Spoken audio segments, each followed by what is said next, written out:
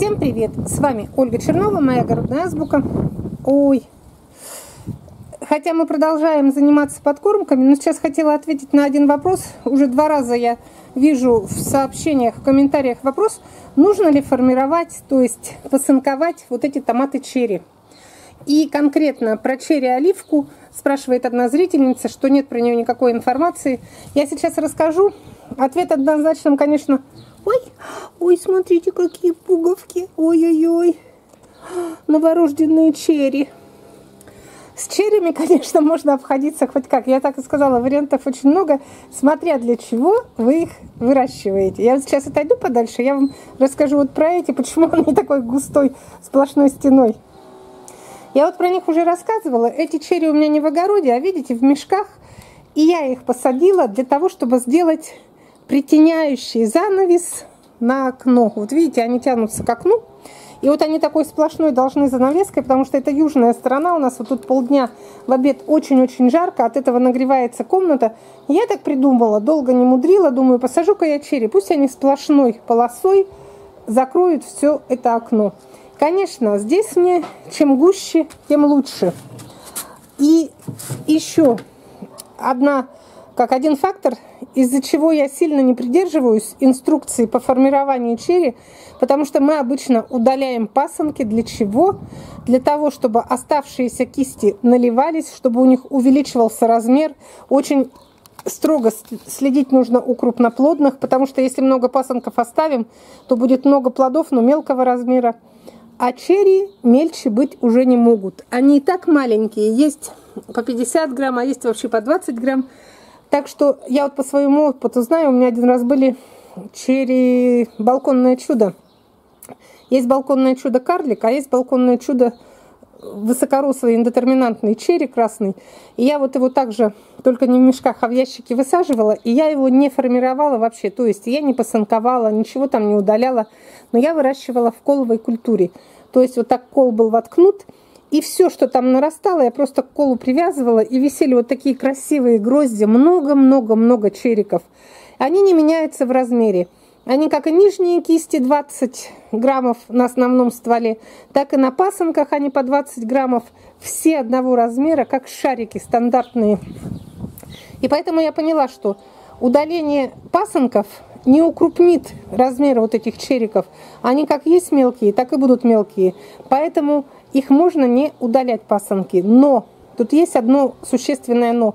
Не удаляя пасынки, то есть вот выращивание без формирования, оно влечет за собой повышенный уход. То есть, если бы вы удалили пасынки, все, она одна бы вот эта вот висела кисточка, и они бы там наливались.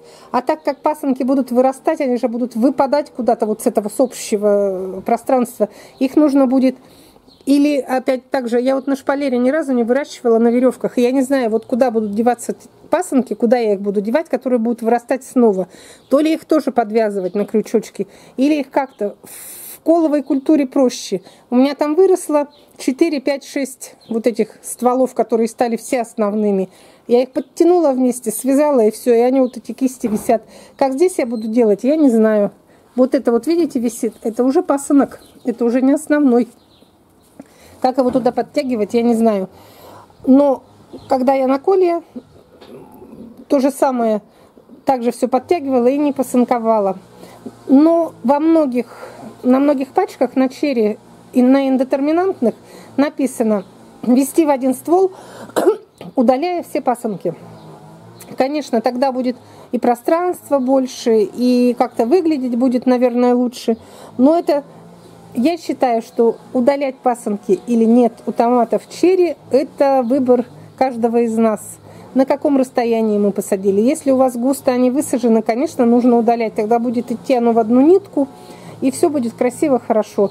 Про черри-оливку я скажу так, да, она невысокая, и я в прошлом году, я же выращиваю в коловой культуре, я ничего у нее не удаляла, у нее сколько выросло, там вот 4-5 пасынков укрупнились и стали такими, как, ну, наравне с основным стволом, я их все подтянула, и также вот как в предыдущий ну как за, за прошлый год у меня был опыт в коловой культуре, они так у меня и росли. Вот что будет с выращиванием на веревочках, вот на таких, я не знаю, потому что очень-очень много образуется новых каких-то ответвлений, и каждый старается стать основным стволом, Конечно, если будет, у меня же здесь загущенная посадка, если будет много лишнего, я что-то уберу.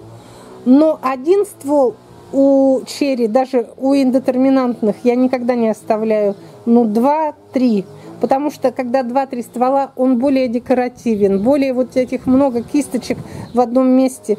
Они же тут на одном стволе, на втором, на третьем вот так вот стянешь, они все кучами, гроздями висят. Мне нравится, когда много и красиво, и мне кажется, когда два-три ствола и урожай больше. И главное, что оно им не вредит.